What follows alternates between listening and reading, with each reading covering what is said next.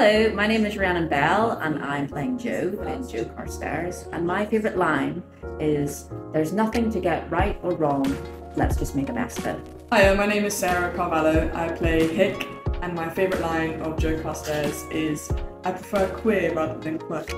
Hiya there, my name is Jazz Harper. I'm playing Tee, Dolly, and Belly, and my favourite line is let it breathe, it will come to you. It always does. I'm Krysia Mansfield and I play numerous characters, including Edward Carpenter, one of his lines I love.